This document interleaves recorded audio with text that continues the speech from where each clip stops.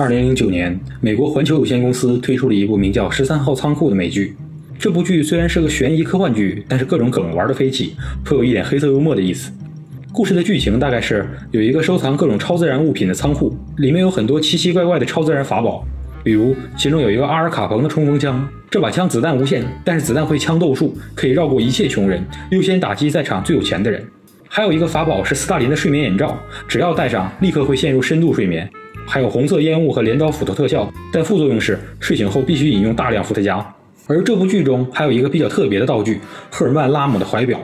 这个怀表的功能极其特殊，只要按下计时，就能立刻化身为犯罪高手。但是副作用是将会变成极其重视细节的强迫症，每用一次，强迫症就会更严重，直到最后完全疯掉。那么，这个赫尔曼·拉姆是谁呢？在科佩尼克上尉的故事里，我提过，抢银行的历史是以1918年拉姆技术为分水岭的，之前的叫古典派，之后的叫现代派。而这个拉姆技术的发明者，就是美国劫匪的精神领袖，倒霉人类的观察样本，强迫症患者的正面典型，抢银行界的大贤制胜先师赫尔曼·卡尔·拉姆。大家好，我是新人阿狗咸鸭蛋可汗。1890年，赫尔曼·拉姆降生于德国卡塞尔的某家庭。他的家庭状况如今已经无法查到，只知道他从小当过屠夫学徒，而且很早就脱离了高级趣味。拉姆的少年时代虽然称不上是品学兼优吧，至少也可以说是狂嫖滥赌。他不仅每天不学好，而且他的一生始终有一个显著的 buff，运气极差，终其一生都是在利用自己的技术和倒霉的命运较劲。本来赌博就是个十赌九输的事情，再加上他运气不好，所以整个少年时代都在可持续性的身无分文中度过。为了搞钱，拉姆只能另谋低就。没有任何技术的他进入了传统行业打劫，不过他倒是没有暴力打劫的勇气。他的打劫方式简直是杨颖的手办，卑鄙小人。他在过往情商的啤酒里面下药，把人麻翻了，趁人醉倒时搜刮财物，提桶跑路，堪称德国孙二娘。但是以拉姆的运气，他干这种事儿不可能不出岔劈。一九一零年，拉姆又麻烦了一个过路的，趁人家睡着翻人家的包，打开以后有不少现金，再一看证件，德国黑森州市政警察。正如我们在科佩尼克上尉那集中所说，二十世纪初期的德国是个高度军国主义的国家，正是军警宪特横着走的年代。把警察给打劫了，一旦被抓住，株连九族都他妈算从轻发落。拉姆觉得当时的德国只有一个地方能给他提供庇护了——军队。在德二时期，如果你有前科，那这辈子是别想当兵了。但如果你犯了事儿却没被捉住，那么恭喜你，军队将是你最坚固的堡垒，因为没有任何警察有胆子去军营抓人。拉姆赶在警察抓他之前加入了德军，而且由于江湖经验丰富，还很快混成了低级军官。但是他即使当了兵，依然死性不改，继续狂嫖滥赌。只不过赌友变成了部队里的战友。由于他的运气一如既往的差，他在赌桌上就是稳定的给战友们输出自己的军饷。由于输得太惨，拉姆终于开始发掘自己的潜能。他觉得自己之前赌博总输是因为运气不好，而自己的运气大概这辈子都不会好，所以只能依靠个人的努力。于是他开始学习在赌博中出千，简单的说就是藏牌。由于脑子好使，手艺也不错，很快拉姆的签术练得炉火纯青，在赌桌上从给战友们输出军饷变成收集战友们的军饷。在这个时候，命运又一次找上了他。一九一二年初的某天，拉姆这天没有和战友们打牌，而是和长官们一起玩抽牌扑克。本来靠着自己的藏牌技巧，正在大杀四方时，他的凳子的一个角突然断掉，把拉姆摔了个四脚朝天。如果只是摔了一跤也无所谓，问题是他在摔跤时把袖子里的牌全都摔出去了。偏巧的是，那天和他玩牌的牌友们，其中有一个是他的团长。就这样，拉姆顺理成章地挨了一顿好打，被开除了军籍。但他离开了军队，说不定就得被警察抓住。所以走投无路之下，拉姆一咬牙：“那我走。”一九一二年末，大贤制胜先师拉姆抵达了他忠诚的美利坚。虽然换了个国家，但他的人生轨迹毫无新意，基本把在德国的经历重演了一遍。到达美国后的他，加入了美国国籍，找了个屠夫的工作，继续狂嫖滥赌，然后可持续性的身无分文，然后继续下蒙汗药劫道，一点新意都没有，梅开二度了，属于是。而且到了美国的他，一如既往的倒霉。一九一四年，他给一个美国人下药，结果这个人是个酒蒙子，耐药性比较强，下药后很快就醒过来了，发现自己钱没了后，立刻去报警，警察很快就把拉姆给提溜进去了。在监狱里的拉姆开始反思自己的一生，他感觉我真傻，真的，我单知道在德国下药后有警察过来把我抓进去，我不知道美国也会有，所以他痛改前非，觉得自己为了这点钱蹲监狱实在是不值，要蹲监狱至少涉案金额得大点吧。既然横竖是抢劫，与其抢路人，为啥我不抢银行呢？实际上，拉姆有这种想法是非常正常的。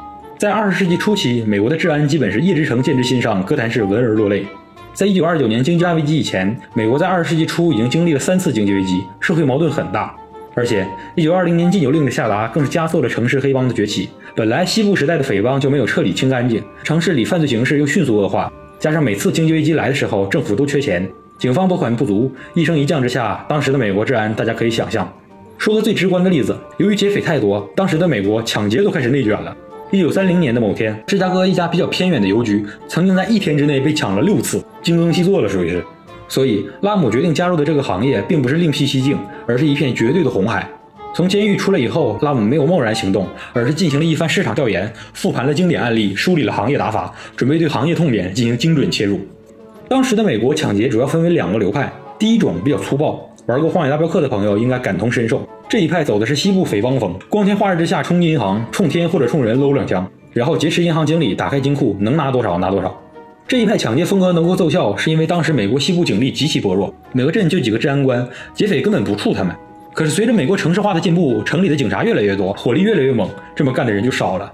之前抢银行顶多上通缉令，现在抢银行偶尔能上法医教材，标题类似于“碎尸的完美还原”等等。由于第一种太粗暴，所以在拉姆的年代，美国的银行劫匪一般选的是第二种，一种更为粗暴的方式。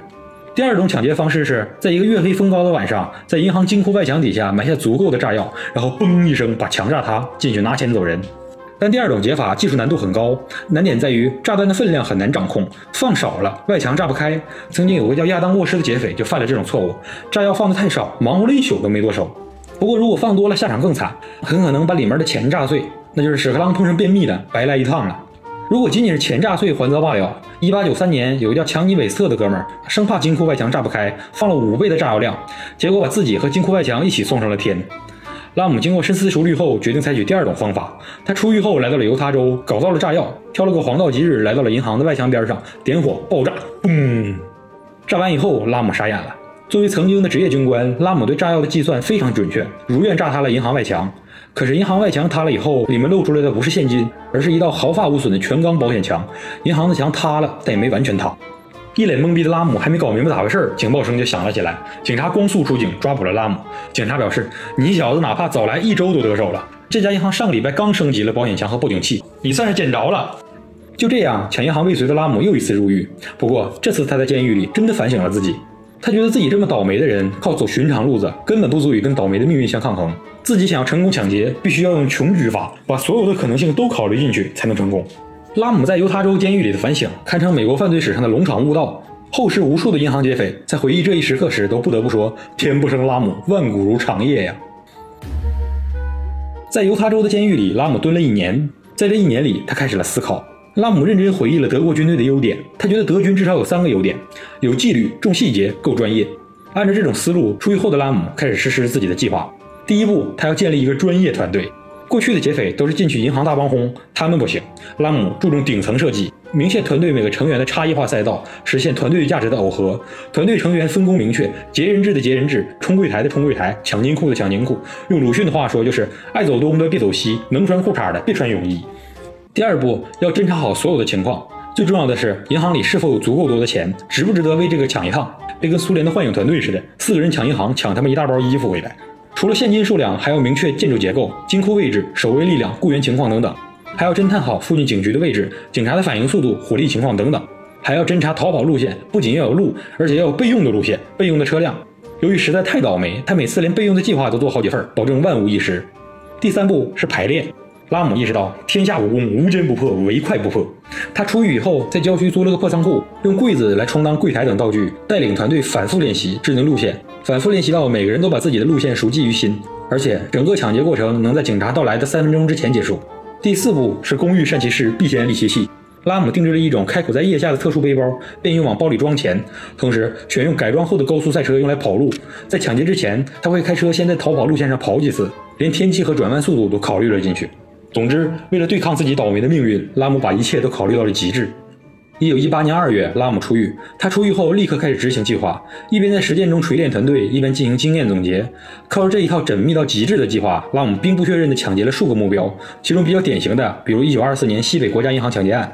一九二四年十二月八日，西北国家银行的一个普通营业日，上午九点，银行刚刚开业。拉姆站在银行街对面，派出了自己的侦查员。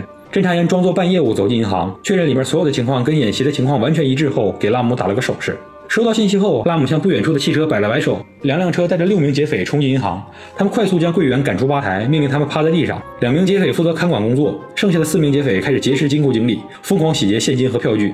有条不紊的抢劫持续了五分钟。拉姆一声口哨，六名劫匪迅速有序撤离，几乎同时登上汽车。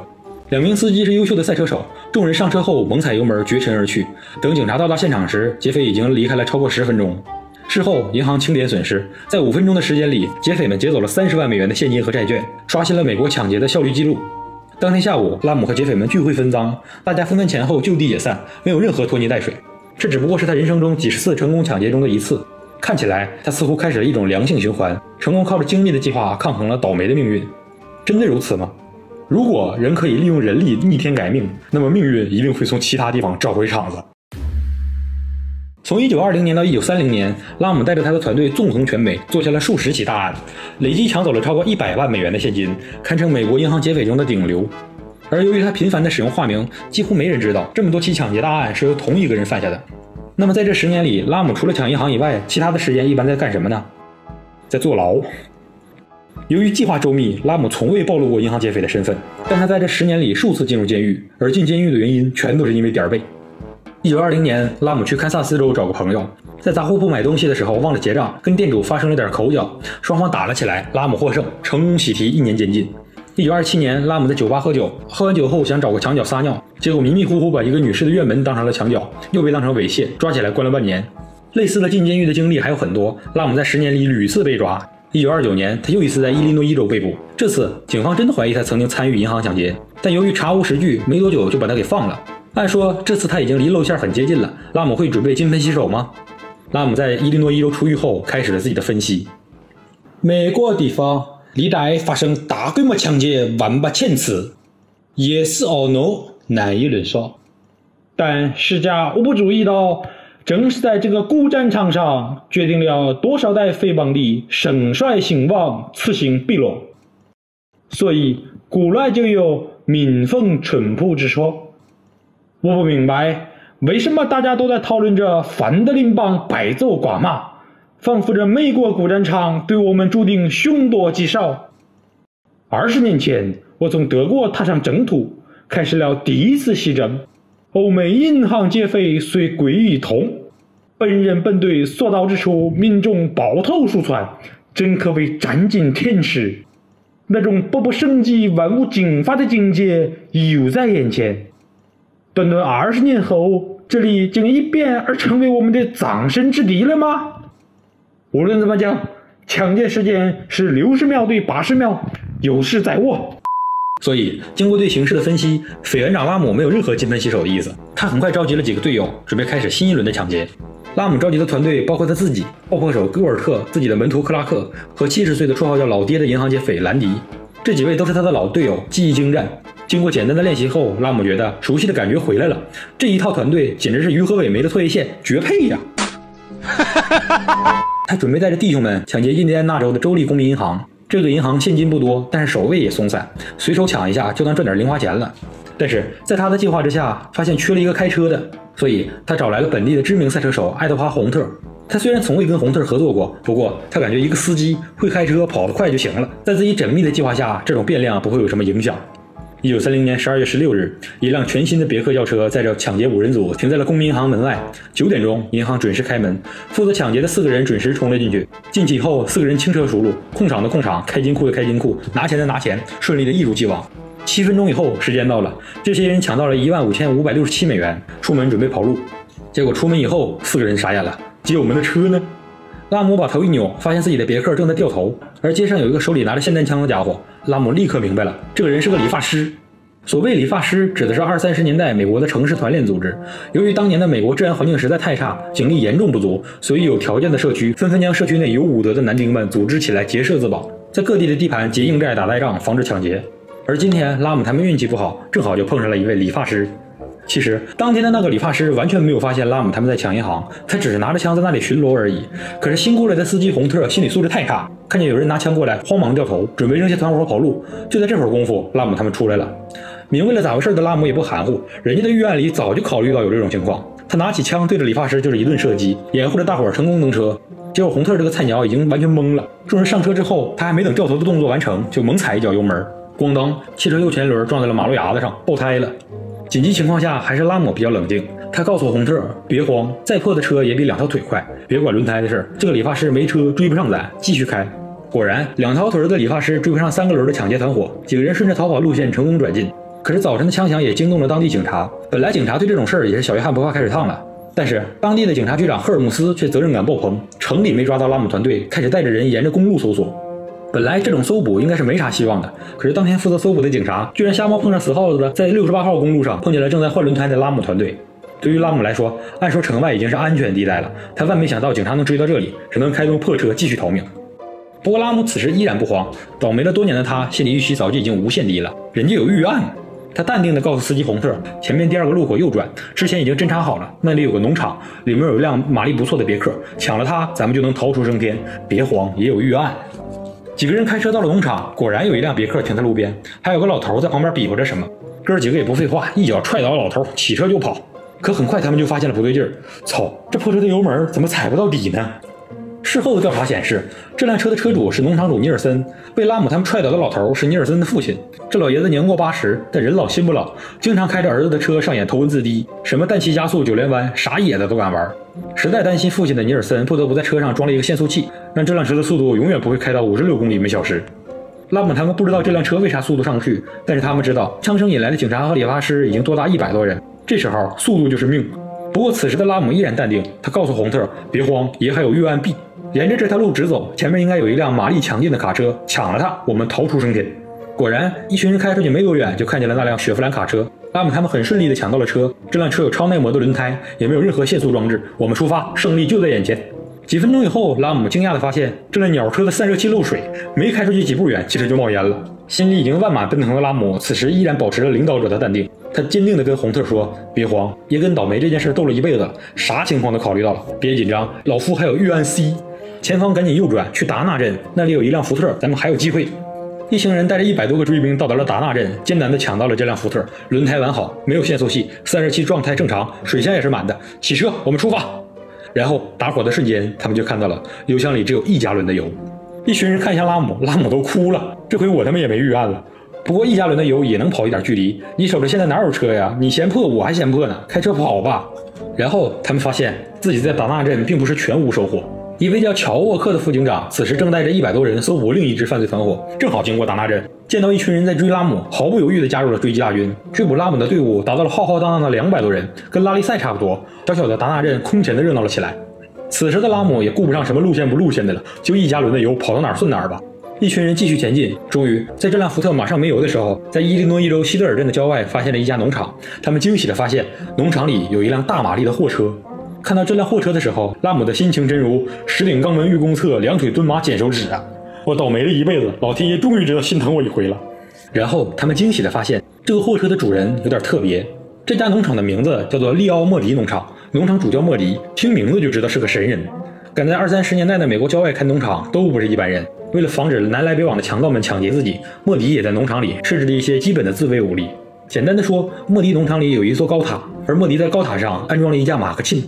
看到有人要抢自己的爱车，莫迪没有任何犹豫，打开机枪就是一阵输出，当场击毙了司机红特。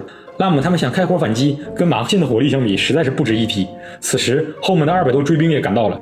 如何形容拉姆此时的处境呢？对此，通辽韩国日报社评论道：“进攻如天津鏖战，元府难破潼关锁；退后似麦城余恨，云长无奈望江河。前方为万丈深渊，金城汤池天沟堑；后方有魑魅魍魉，罗刹恶鬼锁阎罗。”三重叠关，曹丞相败走华容道；十面埋伏，象霸王四面闻楚歌。一边是韩国威威，孟尝君到此空嗟叹；一边是昭关凛凛，伍子胥只欲白发多。自此天亏地窘，穷乏无路，汤武复生，奈此如何？